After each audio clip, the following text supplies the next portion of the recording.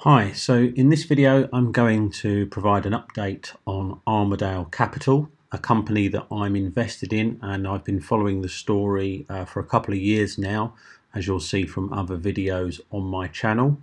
Uh, they've just recently delivered their optimized DFS and um, I'm going to provide an update on what this means um, the numbers around the DFS, what's uh, you know what's coming going forward, and how the company can potentially progress from here through financing to production and potentially paying a dividend.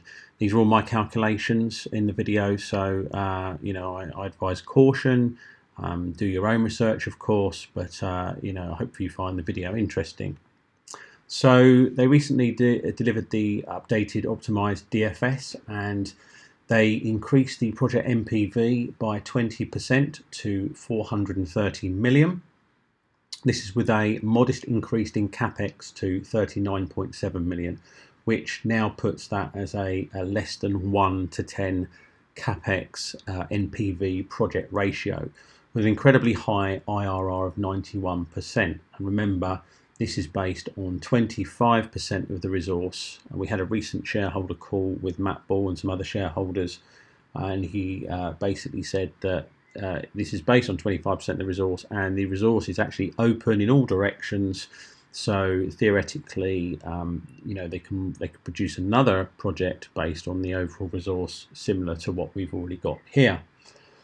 As I said, it's exceptionally low capex um, with a 1.6 year payback and this bodes well for going into financing discussions.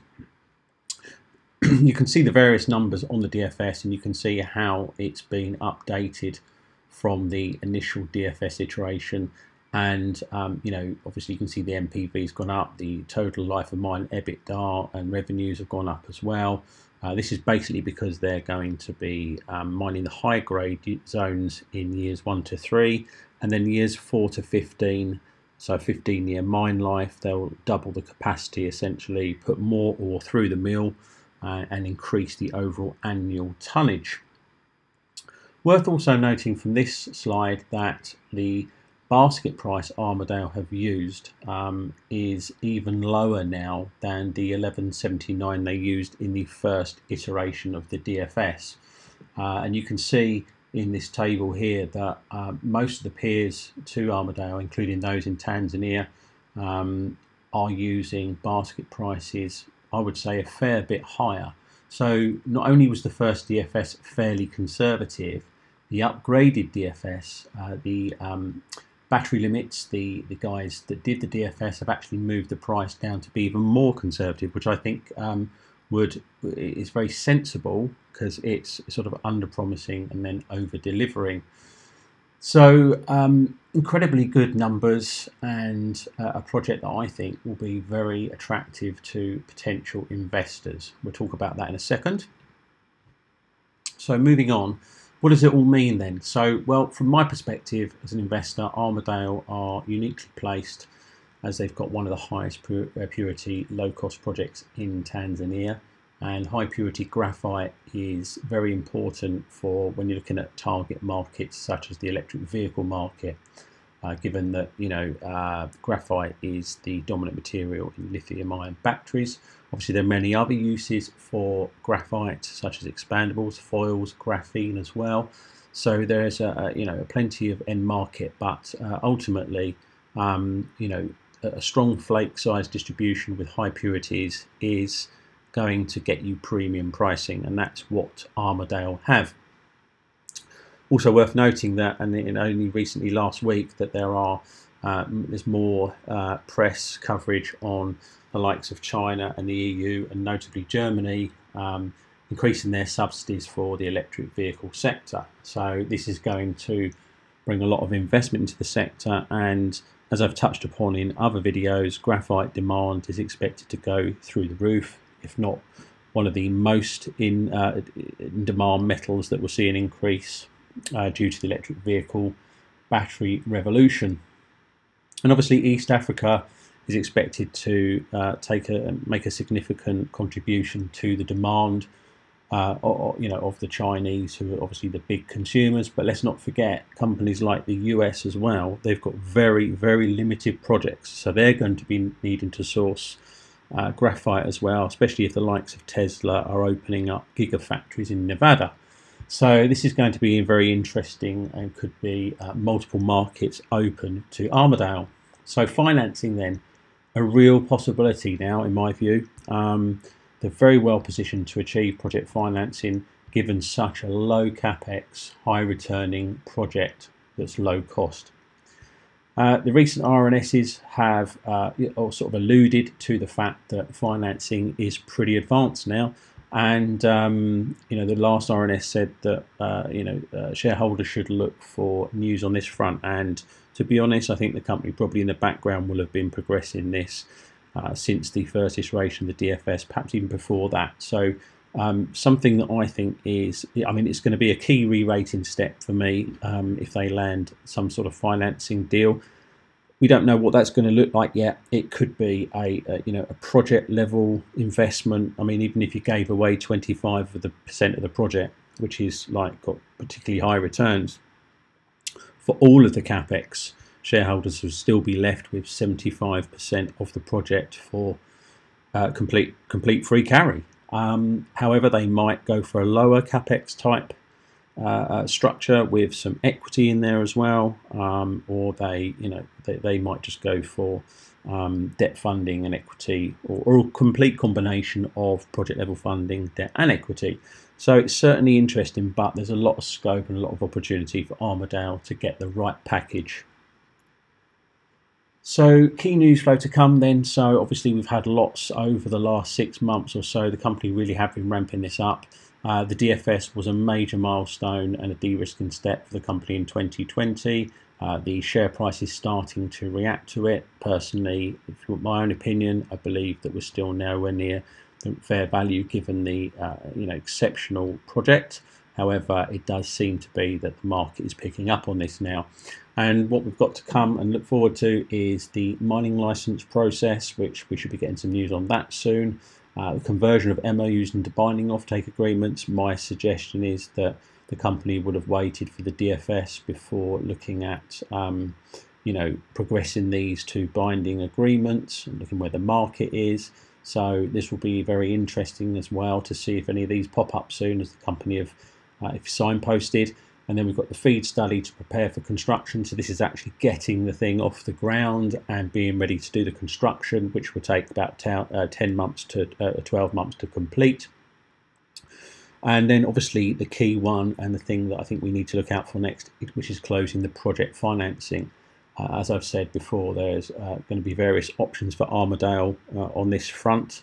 Uh, but once we've done that, uh, say we close the financing in the next, say, three months, perhaps we could even get that news imminently, given what's been said in RNSs. Uh, I hope so. Uh, we could be looking at potentially getting construction started at the end of this year. We'd be looking at early 2020 uh, to be um, producing, uh, sorry, early 2022 to be producing. So I thought I would just summarize with a scenario uh, you know, having looked at the company, looked at the returns, seen the progress they're making, I thought it'd be very interesting just to do some quick calculations based off the DFS and just a, one scenario that I've put together. Now there are other scenarios that could be there, but I just thought it'd be quite good to illustrate just uh, what sort of returns that this project could give shareholders if they were to basically hold their shares from now. And let's face it, if the company re-rates, there'll be a temptation for people to de-rest. There certainly will be for me, but I actually do believe this is now a project that's actually going to make it through to production. And therefore, now I'm starting to turn my attention to whatever level amount of shares that I keep, and I've got a significant amount, what sort of returns can I be getting from that? So the company could be producing, as I said, as early as Q1 2022 if you factor in the, uh, the timeline for construction and completion of financing. It's a 15-year um, mine life in the in the latest study. Remember, this is based on 25% of the resource, which is open in all directions. You can see the assumptions that I've put together on the left-hand side here. So things like the capex amount that's going to be need to be paid back, uh, what the basket price, sale price that they would be expected to achieve, uh, the estimated all-in costs uh, for the actual um, production, and then obviously the margin. And then I've put in a government tax estimate here, which is my own estimate, but uh, sim you know, similar projects I believe come in at around about sort of 20 to 30 percent. There might be some movement north of that, I don't know, um, but I've used 25% in these calculations. And then I've obviously worked out the shares in issue. We're uh, factoring in remaining warrants because obviously I want to work out over here what uh, returns you might be able to get to shareholder today. And then I've just put down here the assumptions from the mine schedule that were in the, um, the DFS update uh, of the of the amount of annual tonnage of the products can be produced. Years one to three, they're going for a higher grade operation, which keeps the cost down with 61,000 tonnes per annum. And then year four to 15, the average tonnage will move up to 121,000 tonnes per annum when they double the mill, which they can fund from uh, uh, their own cash flows. So just stepping over to the right hand side then to wrap up. So I calculated an EBITDA figure over years one to three of around 40 million per annum, take off government tax, the company are left with 30 million in the bank.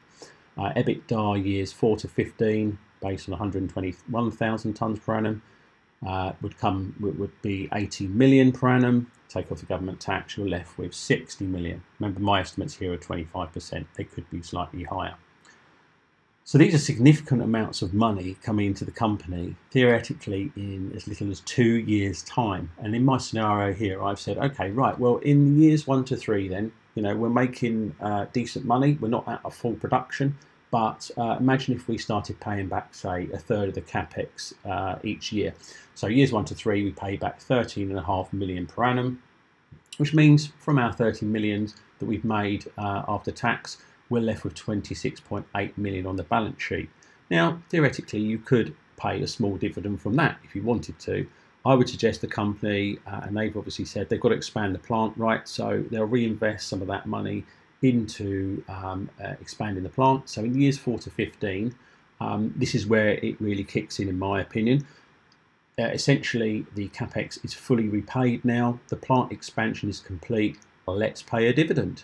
And let's face it, also Armadale is an investment company, right? So I would like to see them potentially investing in other assets as well, uh, in, you know in the resources space. So if they allocate, say, 18 million, which is just 30% of um, you know their their year-end figure, then uh, and they allocate that to a dividend uh, with the shares in issue of 525 million.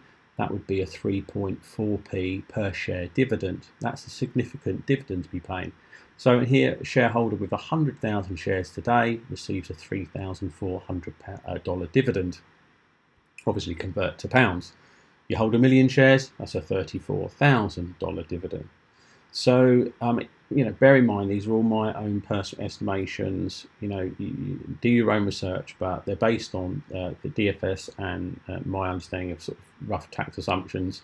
Uh, so you can see here that it is quite possible that uh, over the next sort of five years or so, well into production and having paid off capital, that the company could actually start paying a dividend.